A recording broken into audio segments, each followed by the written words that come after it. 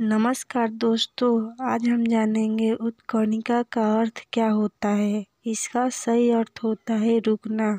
आज के वीडियो में इतना ही, मिलते हैं नए वीडियो में, तब तक के लिए धन्यवाद।